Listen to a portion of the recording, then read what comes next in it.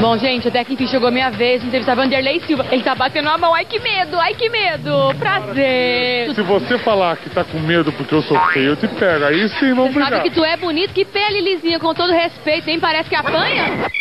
Essa foi piada?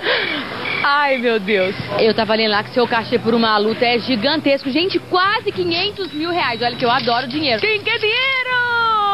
Bater nos outros e apanhar. Como você fez pra conseguir chegar aqui, ser tão reconhecido e ganhar tão bem? Tá errado informação por 500 mil, eu nem saio de casa. Eu vou fingir que acredito nisso. Sabe qual que dá uma curiosidade assim? Qual que é o seu preparo antes da luta e se, comparando com os jogadores de futebol, se antes da luta você pode fazer sexo ou se não, você tem que estar, sei lá a palavra. Sem vergonha. Eu costumo, tipo, pelo, pelo, pelo menos meia hora antes, não. Pelo menos. Eu tento dar essa. Não tem concentração dois dias antes trancado, igual tem no futebol. Na luta não precisa. Não, não. Geralmente eu fico. Fico às vezes uma semana, porque eu, eu, eu viajo sozinho, eu vou pra outros países, eu fico sozinho. Sem a minha esposa, aí não nem tem como, né? Eu acho que isso não influencia tanto assim, não, sabe? Depende do jeito que faz também, né? Não vai fazer aquela loucura e tal, né? Mas, pô, né, aquele, aquela coisinha ali com carinho e tal, é até bom pra relaxar. Vai matar a mulher, não. Agora me fala uma coisa. A luta com o Vitor Belfort tá dando o que falar, hein? É no Twitter, é não sei aonde. Você falou que o Vitor amarelou. Mas o Vitor falou que machucou o braço. E agora? E agora tô esperando, né? Tô pronto pra lutar com ele, a hora que ele quiser, é só marcar o, o local e a data que vai acontecer. Só depende dele. Da minha parte, eu digo sim.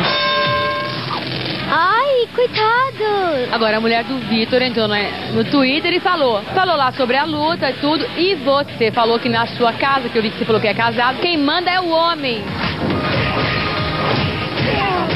Não, minha mulher sabe muito bem que na frente dos outros quem manda sou eu. Paga de graça, bafa. Na frente dos outros. Aí chega em casa. Eu preciso ver o dedão dela. Se o segundo dedo foi maior que o primeiro, quem manda é ela. É automático isso.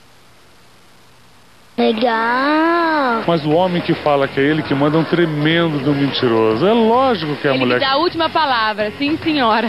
Lá, lá- lá- em casa, pra agradar ela, eu limpo até a cozinha. Ah, que bonitinho. Mas a Joana você não vai enfrentar, não, né? Ah, para com isso, para com isso. Essa confusãozinha assim é só na internet pra dar uma animação? Ou é só no reality show? Ou na vida real vocês têm uma.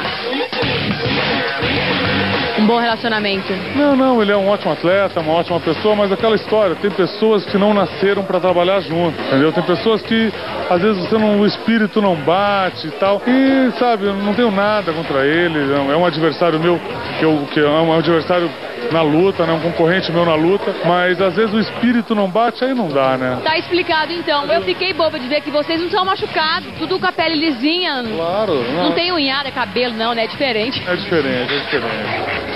Ótimo, olha eu. No- Ah, mas tá machucado o nariz. Mas foi um arranhãozinho, foi só um totozinho só.